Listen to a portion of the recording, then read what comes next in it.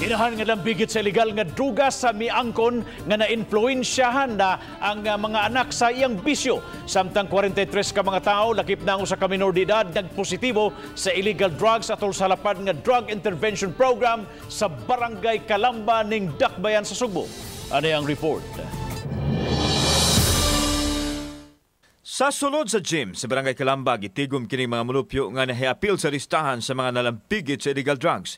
Sagol mga lalaki, babay, batanon o mga tiguang nga gipaubos sa profiling dayon sa drug testing. Lima kanila mga batanon nga nagpangidaron sa 12 anyos ngadto na sa 16 anyos. Ang inahan nga si Felma, dili tinuod nga ngalan apil sa nimbitahan kinsa miangkon nga mogamit usahay kun librehon siyang mahigala. Di kami sa una kay ay papa mag-jamming man mi. Jamming, Oo. Apil po Nakita man kong anak. Hanto ni apil po sila. Sa merkado, kuyong sila. Yang giangkon nga tigamitan usahay og druga siya mga anak kay na-impluwensyahan sa barkada. Apan mas labaw silang naka-impluwensya sa ihang bana nga mugamit usab nini at tubangan mismo sa ilang mga anak. Ang bana nabilanggo na tungod sa illegal nga drugas. Mga anak, anong paggamit ng drugas? Ako, di na ako mo gamit ng drugas. Ako galing. First time ni namo sir nga dunay minor na tulo pa gyud. O kaning tulo ka bata ato gini siyang definitely ato i-refer sa DSWS.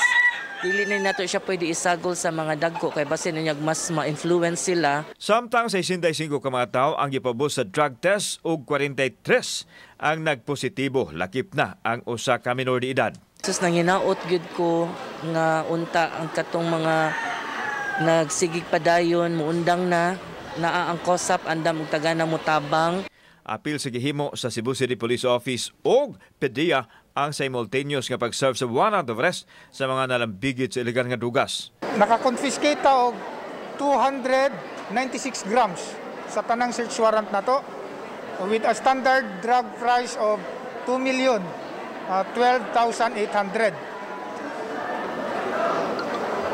Early this morning, mao na resulta sa atong search warrant. dili lang puro panakop, dili lang puro supply reduction. We also have to be intensive to intensify our demand reduction operation. Kini problema sa barangay dire sa drugas, much more there is mahayay dos. Kung ato ning kwintahon, pura na ning family enterprise, Kauban si Cleofer Lumayag, ako si Alan Domingo.